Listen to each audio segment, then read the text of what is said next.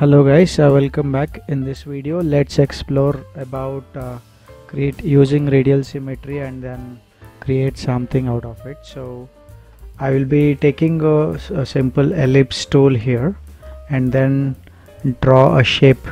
So I preferably use a solid color at this uh, level. And then I'll go to the object and then use repeat radial.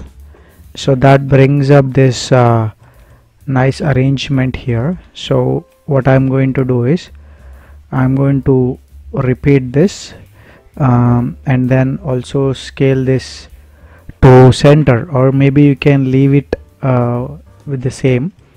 And uh, then I'll go to the object and apply expand. And then this uh, object becomes uh, circles which are generally not selectable earlier okay?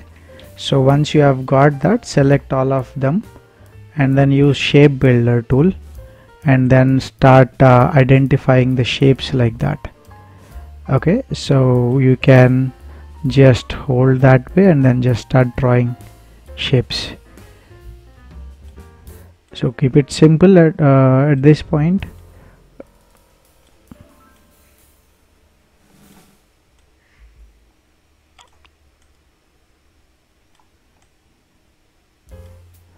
so once we have got that we can select that object and then start uh, filling colors. So you can use your color swatches uh, window.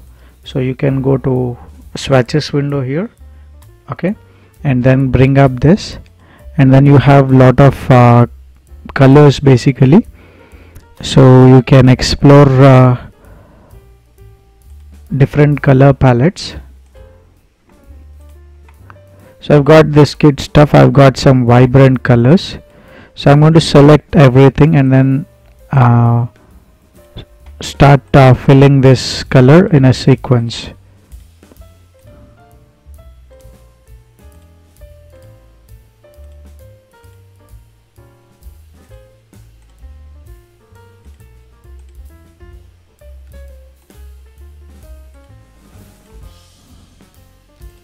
so I've got all the colors filled nicely. I am going to select that and then choose a stroke uh, white and then start increasing the uh, stroke thickness. And uh, you got this nice arrangement. Now what I'm going to do is I'm going to take a, a polygon and then just uh, drag that polygon like that.